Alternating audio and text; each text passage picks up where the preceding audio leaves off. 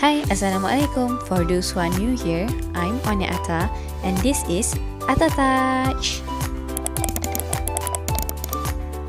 Today, I will share with you how to make a DIY clay dish. Some people call it a ring dish, jewelry tray or trinket tray. And function dia adalah untuk hold your ring and jewelries. Dish ni orang selalu letak kat atas dressing table untuk letak kat cincin ke, gelang ke. And normally orang letak dish ni dekat tepi sink so that bila kita buka cincin untuk basuh tangan ke, basuh pinggan ke, kita tak adalah hilang cincin kita kan.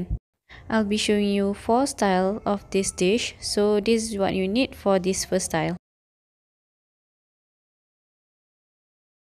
Here I have air dried clay from Artpack and it's written paper clay on it. I'm not sure about the other brand but for me this one the color is a bit off. It's not totally white. So we start by cutting a portion of this clay depends on the size of dish that we're gonna do. Then we have to knead it a bit to soften the clay. Bila dah lembut, penyek-penyekkan dia sikit bagi leper and then rollkan dia. Saya tak ada roller so I just use this bottle. Bila roll tu, uh, make sure terbalik-terbalikkan dia juga uh, so that dia tak melekat kat meja.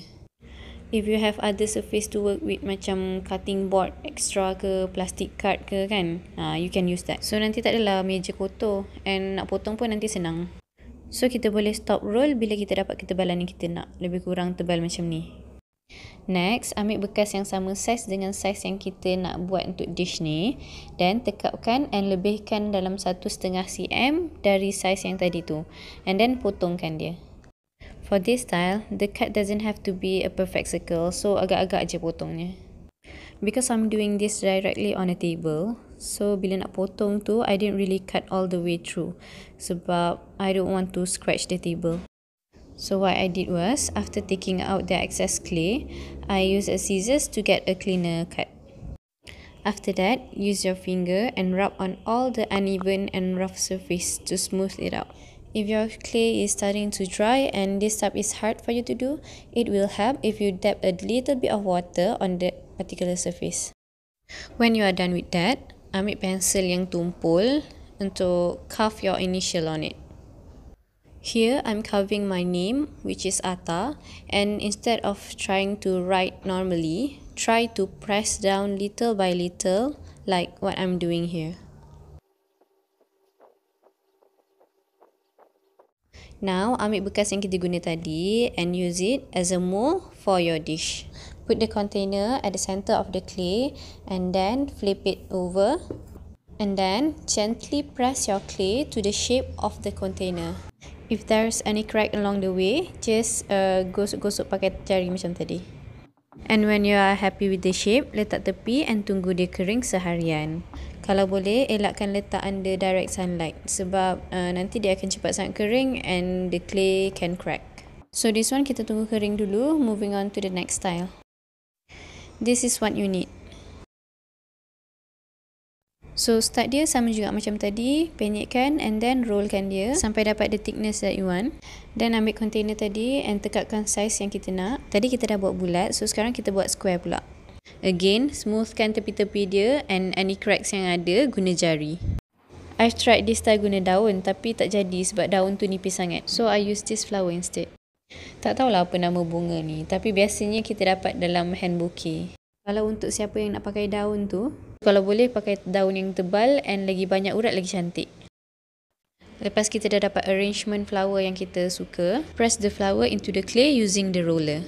Do this a few times sampai rasa bunga tu dah masuk dalam clay. Repeat this step with the other one. Next, macam tadi, letak atas container and then press hujung dia gently and pinch a bit at the corner making it pointy. And ketepikan, tunggu kering. Next, for the marble style, this is what you need. First, take a quarter portion of your clay and mix it with black color. I'm using acrylic. You can also use watercolor or food coloring yang water base. Apa-apa color lah, as long as it's water base, I think you should be fine. Mixkan dia sampai sebati. This step is a bit messy. Awal-awal dia, dia akan melekit-melekit and susah nak mix. Tapi lama-lama okay. I ended up adding more of the black color. And when you are happy with the colour, boleh cuci tangan and then continue with the next step. Lepas tu bahagi dua with uneven volume and roll it into a sausage like what I'm doing here. As for the white, roll three sausage out of it. Sekarang susun selang-seli and then sekalikan making it a one big sausage. Sambil picit sambil twistkan dia making it a swirl. Letak atas meja and rollkan dia bagi lagi panjang. Sambil tu twistkan lagi. Then lipat dua and rollkan lagi repeat around three times. Last kali swirlkan dia macam ni and then make a ball. Next rollkan dia sampai dapat size and thickness yang kita nak. Dah jadi macam ni, bolehlah tengok which side do you like the most untuk jadikan belah atas dish ni. Potongkan dia ikut saiz yang kita nak. Lepas tu smoothkan tepi-tepi dia. Letakkan dia dalam piring yang melengkung macam ni and gently press bagi dia ikut shape piring tadi. So when you are happy with the look, put aside untuk keringkan. For this last style, you just need this and the color of your choice. For this style, it did not actually go as how I imagine it to be sebab ada tersalah step sikit. However, I love how this dish turned out. We start by cutting the edge with whatever shape you want the base to be. Then roll thinly a piece of clay to make a long string like this. Lightly water around the clay using a brush. Then take the long string of clay and gently press it along that wet clay. This water will act as a glue to stick the string. Cut off the excess and gently rub the clay using your finger to join the string together. Add water if necessary. Press down the string gently, making sure it sticks to the base clay. Brush on a generous amount of water at every corner of the joint. Tadi kan saya cakap it didn't turn out how I planned sebab sebenarnya nak buat macam ni. With this pattern I found in Pinterest. So kiranya black line tu yang akan timbul. But I thought, hmm, kalau buat background dulu mesti lagi kemas kan? So I plan to do the black line yang timbul tu kemudian and biar je dia kering macam ni dulu. Silap besar. Sebab bila dah kering, susahlah nak dekat clay lain. Apatah lagi nak lekat atas akrilik. Nanti saya tunjuk how it turn out. So on the next day, bila clay kita dah kering. So this is the look for the first style after dia dah kering. I use a gold acrylic color to color the name. Actually, you can use any color you want and that will create a different look. Contohnya hitam or merah for a bolder look and pastel color will give a softer touch. As you can see here, saya color juga keliling dia untuk nampak lagi kemas. So this is it. You can stop here or boleh juga tambah another coat untuk bagi dia waterproof. For this one, I use resin which you need to mix A and B. I did one layer of resin tapi bila dia kering dia macam meresap. I'm happy with this look tapi ada part yang resin dia tebal so terpaksa buat lagi satu layer. For this impress style, I use gold to color the flower part and green to color the rest of the dish. Again, it's up to you to use any color you want.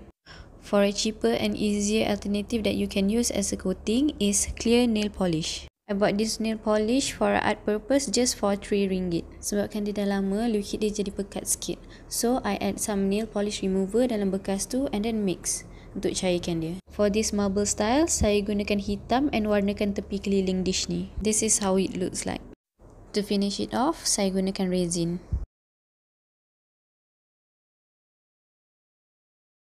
Untuk style yang keempat, nilai rupa dia lepas dicat.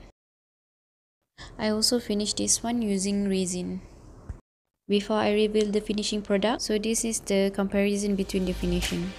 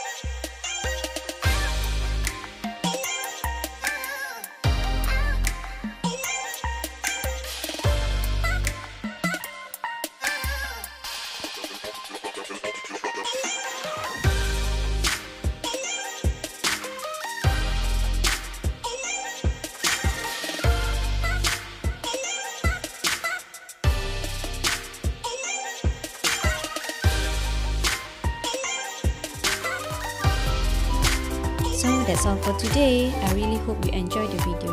So tell me which style do you like the most at the comment section below. I'll be posting more DIY like this. So don't forget to subscribe. Also don't forget to check out my previous video. Hope to see you on my next video. Thank you for watching. Bye. Assalamualaikum.